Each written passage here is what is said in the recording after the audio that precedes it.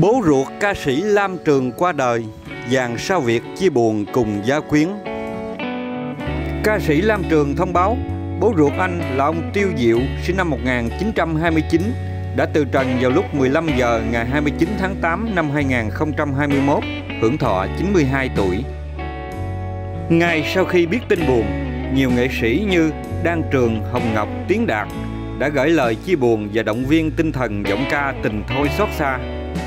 Trước đây, Lam Trường cũng từng tiết lộ anh sinh ra và lớn lên trong một gia đình có đông anh em. Để lo cho các con ăn học và sinh hoạt đầy đủ, bố mẹ anh đã rất vất vả mưu sinh. Bố Lam Trường có thời gian làm công việc tài xế chạy xe khắp các tỉnh miền Nam, miền Trung. Sự yêu thương gia đình của ông Tiêu Diệu luôn khiến cho nam ca sĩ tự hào và trân trọng. Khi thành danh, Lam Trường luôn cố gắng làm mọi thứ tốt đẹp để đền đáp công ơn dưỡng dục của đấng sinh thành.